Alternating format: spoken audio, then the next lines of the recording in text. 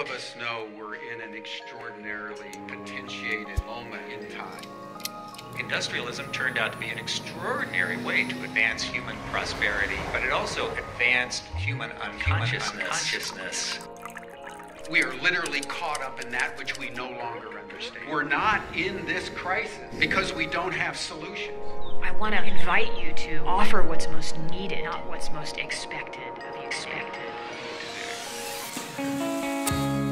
Global Summit is about that inner yes that is sort of bringing us together. Team up with a bunch of other amazing people who might be completely different than me. People who care about the future of the world. Can we, working in unison, make very substantial changes? The opportunity is huge. huge.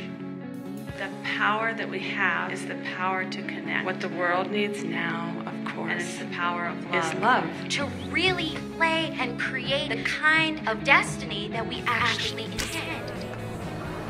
I would say we are literally bringing in the memory of our bringing in the memory of our future.